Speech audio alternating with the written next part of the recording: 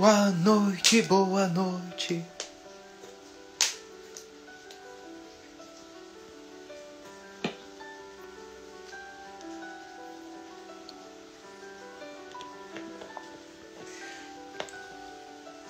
Que bom que estamos aqui. Uh, muito bom encontrá-los.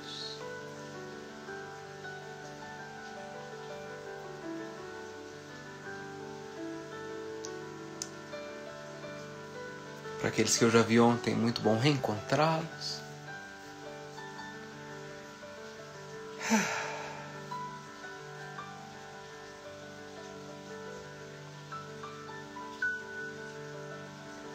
Vai chegando, vai ocupando o seu espaço.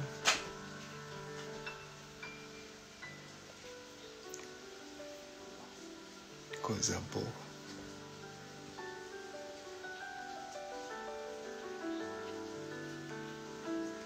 Bom que você veio.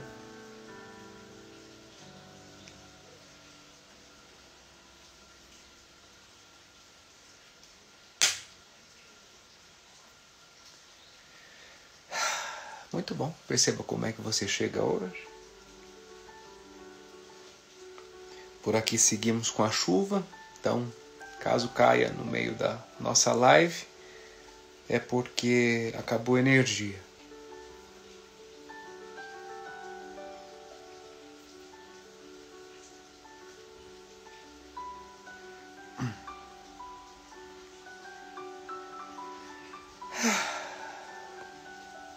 Muito bom. Nessa nossa sequência aqui que nós começamos ontem, o nosso tema é a culpa, ou como nós lidamos com a culpa, né? Como lidar com a culpa. Eu disse que esse é um tema que eu acredito que é, é uma tônica, ou é comum a todos nós, porque em algum momento da nossa vida provavelmente nós já sentimos culpa ou nós já tivemos que lidar com a culpa em alguma dessas situações das nossas vidas. Então, por isso eu acabei optando por trazer esse tema para nós. Né? Ontem nós falamos um pouco sobre o que é a culpa, né? que a culpa se manifesta dentro do nosso sistema como um ato de censura, como um ato de acusação, né? de apontamento de algo que no nosso ponto de vista, na nossa avaliação, está errado, está incorreto, não deveria ser assim, deveria ter sido de outra maneira. E geralmente isso está conectado a um movimento voluntário nosso. Então, resumindo, eu faço algo e aí de repente eu avalio, né? Depois que eu fiz, que eu deveria ter agido de outra maneira, que eu deveria ter feito de outra forma. E é geralmente neste lugar que a culpa emerge, que ela vem à tona. E ontem nós falamos um pouco que a culpa, assim como outros sentimentos, é, tende a ser um sentimento, tende a ser uma emoção mal compreendida, né, ou rotulada como algo negativo. Desculpe. Ou rotulado como algo negativo, como alguns sentimentos que a gente já conhece que são também geralmente rotulados como negativos, né? Raiva, tristeza, medo, insegurança, não importa. A nossa reflexão de ontem foi perceber talvez que que como todas as outras emoções, talvez a culpa não seja algo negativo. É, mas na verdade é algo que tem uma função nas nossas vidas. E o primeiro movimento para que a gente possa lidar bem com a culpa o primeiro é se permitir sentir a culpa, ou permitir-se sentir a culpa.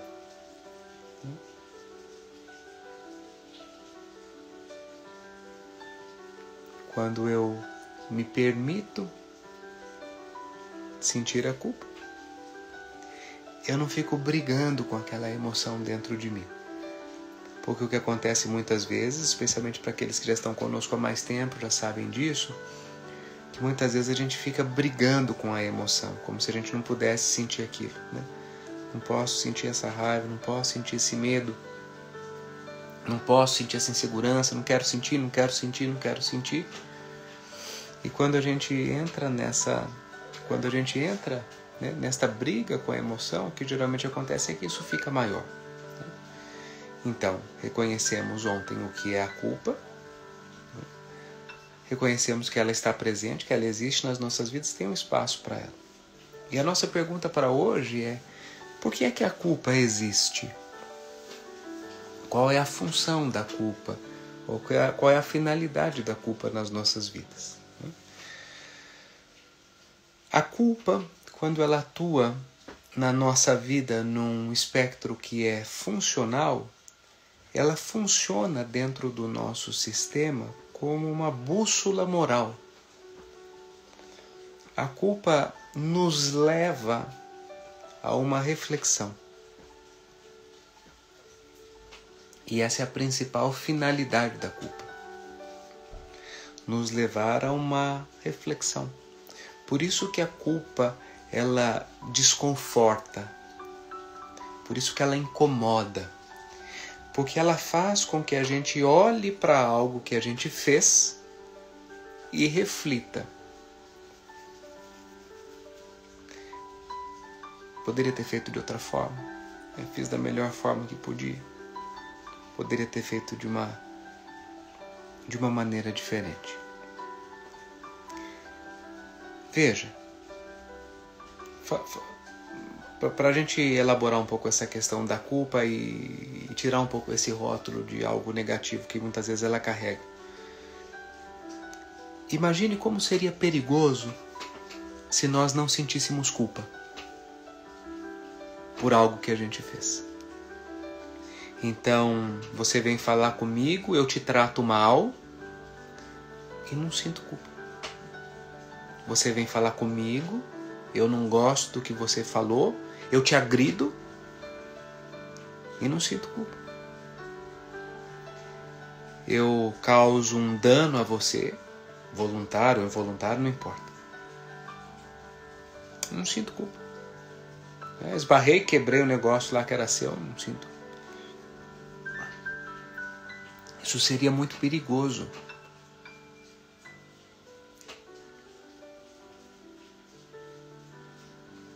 Faz sentido isso que eu estou dizendo para vocês? Se nós não sentíssemos culpa, se nós não sentíssemos remorso, se nós não sentíssemos arrependimento, está muito conectado ao tema da culpa. Se nós não sentíssemos isso, isto seria perigoso para nós.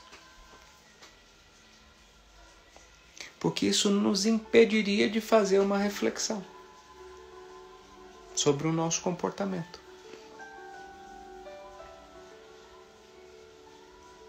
Então, no aspecto funcional, a culpa nos leva a uma reflexão.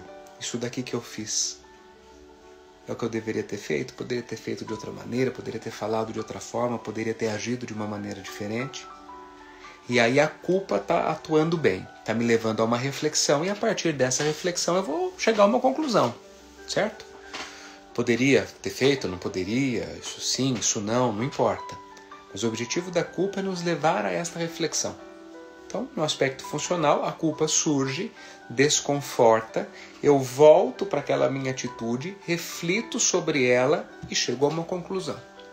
Ponto. Esta é a culpa atuando no espectro funcional. Atuando no espectro que é disfuncional, ou seja, não funciona bem, tem um problema de funcionamento, ela vem de um tamanho exagerado.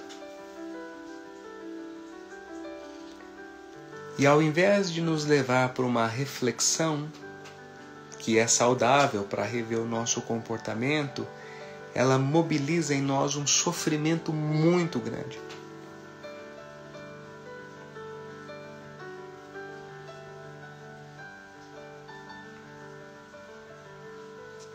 Aquelas que a pessoa ela tem um deslize desse tamanho, deu uma escorregada desse tamanho, e ela sente como se ela tivesse cometido um erro gigantesco.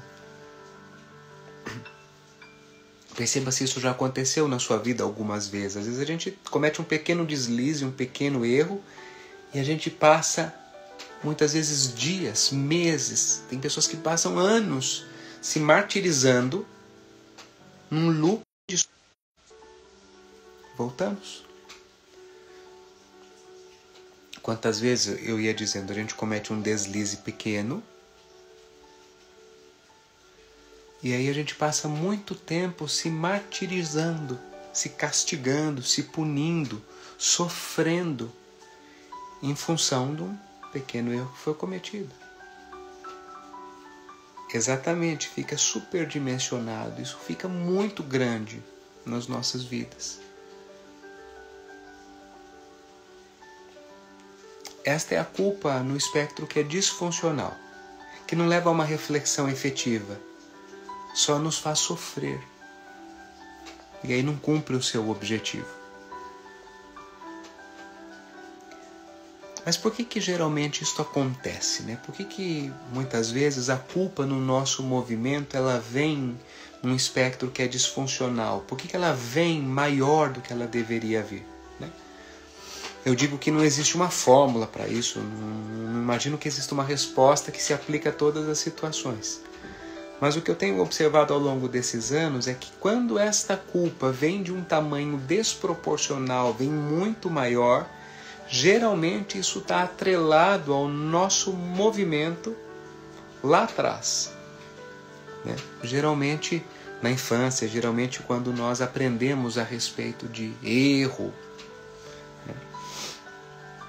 Especialmente como nós lidamos com erro. Né? Por quê? Existem famílias, e aí às vezes vale a pena você refletir um pouco sobre isso na sua história, tanto na sua família como na sua experiência na escola, com, com as pessoas importantes para você. Se na sua família ou se na escola, na educação que você recebeu, aquele ambiente era um ambiente onde o erro era punido, era apontado como, ó, oh, você errou, tá errado, tem que vai ficar de castigo, vai isso. Então, o ambiente onde você cresceu, o ambiente onde você foi educado, tinha o erro como algo a ser punido, evitado, condenado, ou tinha o erro como uma oportunidade de aprendizado? Poxa, entendi aqui que você errou. O que é que faltou aqui, né? O que é que você não compreendeu? É, é, o que é que você aprendeu com este erro aqui? Qual é a, né? Qual foi a transformação? Qual é o tipo de educação que nós recebemos a respeito de erro, né, a respeito de culpa? Pessoas que receberam uma educação mais rígida nesse sentido, né, apontando o erro como algo ruim a ser evitado, é, muitas vezes o erro, né, em muitas famílias, era motivo de piada, né, motivo de chacota, motivo de humilhação, né, motivo de exposição, de vergonha. Então, quando a gente passa por uma educação nesse sentido, geralmente esta culpa fica printada em nós de um tamanho maior. Exatamente, muitas pessoas apanhavam quando erravam, né? E, e veja, imagino que eh, alguns aqui ainda viveram isso, porque é relativamente recente, né? Quantos apanharam, inclusive na escola, né? Porque é, houve uma época na escola, inclusive, que se apanhava quando errava, né? Que você era colocado de castigo quando você errava. Existe uma punição ali, muitas vezes física, né? Quando você errava. Na escola, inclusive, né? Nas famílias, então Exatamente. Quantas vezes nós escutamos coisas desse tipo? Ah, você é burro, você é incompetente. Ah, exatamente, com a palmatória, exatamente. Então, quando a gente tem este reflexo de educação nas nossas vidas, o como ah, existe uma tendência, né? não que seja regra, mas uma tendência a considerarmos uma tendência a considerarmos um pequeno erro um grande erro. Uma pequena culpa se transforma numa grande culpa. Este é o reflexo na vida adulta. Geralmente são pessoas que se tornam muito exigentes, que se cobram demais, que não se permitem errar. Geralmente desenvolvem um traço de perfeccionismo. Veja, não que seja uma regra, não estou dizendo, ah, aconteceu isso comigo, vou desenvolver isso. Não, não é isso. Mas há uma tendência. E isso, muitas vezes, nos leva para um lugar de rigidez e de sofrimento muito grande. Então, este é um dos possíveis motivos né, da, da culpa vir muito grande.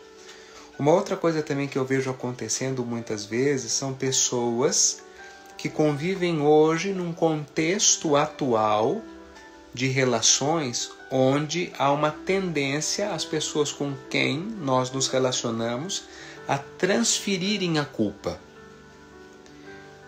E às vezes em alguns relacionamentos isso acontece de forma tóxica, inclusive, né? Uma pessoa usa aquilo como artifício, né, de manipulação para sempre culpar o outro. Ah, você é isso, você é aquilo, você é, você não tem competência para isso, você não consegue fazer aquilo, nada do que você faz está certo. Né? Quantas vezes nos nossos relacionamentos atuais nós vivenciamos isso? Uma pessoa que diminui a outra por insegurança, para controlar, pra, não importa, são, né? são, são questões de cada movimento. Mas quantas vezes nós vivemos isso ainda hoje? Ainda hoje. Né? Infelizmente. E muitas vezes nessa relação, se eu tenho um momento de vida onde a minha autoestima está um pouco mais fragilizada, estou né? um pouco fora do meu eixo, com a minha autoconfiança um pouco abalada, quantas vezes nós não compramos essas falas? Que pode ser uma característica do narcisista, pode sim. Né? Este movimento de diminuir o outro, de, pode ser, né? não. Quantas vezes? Quantas vezes nós compramos essa ideia? Ah, então eu não, não sou inteligente o suficiente, não sou bom o suficiente, não sou capaz, não sou bom nisso, não sou bom naquilo. Quando a gente tem esse quando a gente tem esse contexto instalado, a gente também tende a sentir voltamos. A gente também tende a sentir uma culpa maior. Certo? Veja, é, mas é, lembremos que o objetivo de olhar para a infância que nós tivemos, o tipo de educação que nós tivemos, não tem por objetivo nos colocar numa postura que é vitimista no sentido de dizer, ah, então a minha vida é assim porque eu recebi esse tipo de educação, não há nada que eu possa fazer. Não, não é sobre isso. É reconhecer que lá quando aquilo aconteceu, nós somos vítimas. Se nós vivemos isso hoje em alguma relação, nós somos vítimas desse tipo de situação. Algumas pessoas são vítimas desse tipo de situação hoje, mas a gente tem a oportunidade de transformar e fazer um movimento diferente daqui para frente, dentro da nossa história certo?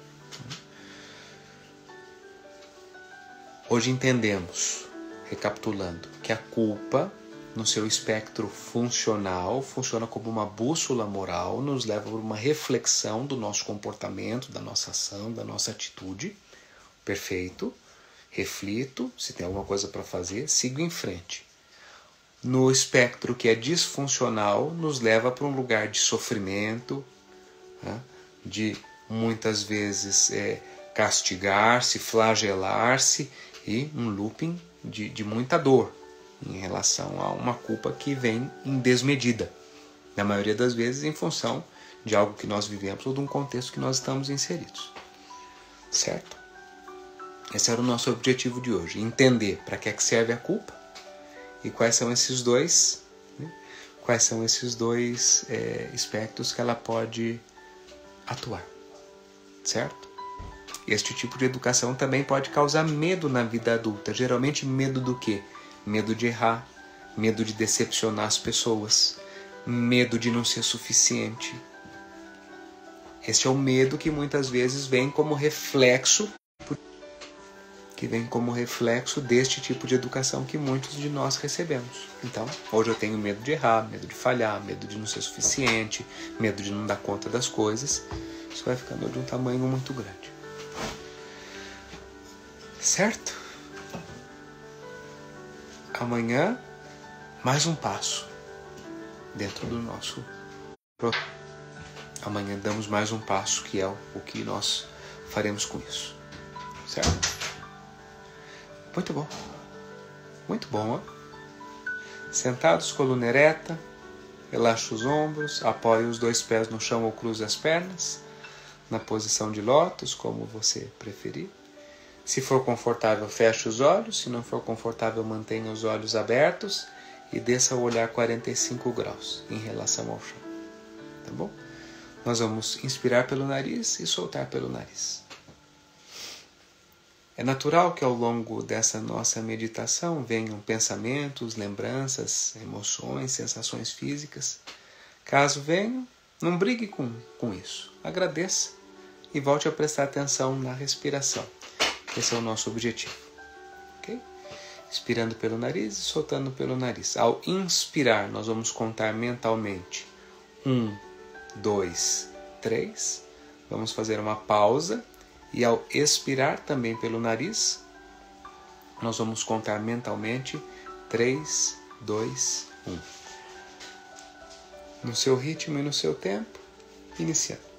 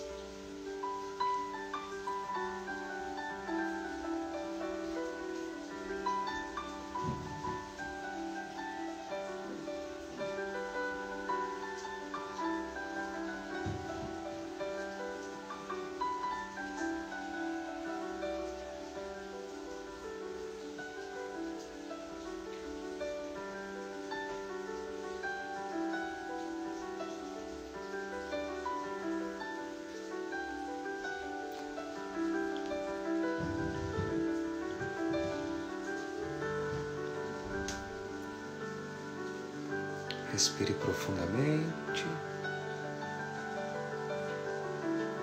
Interrompa a contagem.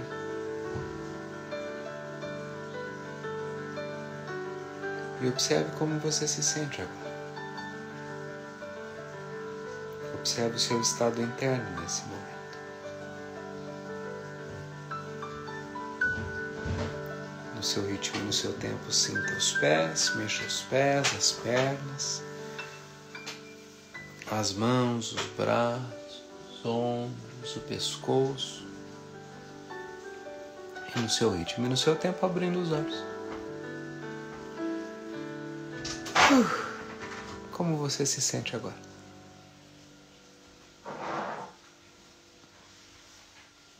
Como sempre, muito bom encontrá-los. Amanhã damos mais um passo. Beijo. Até amanhã.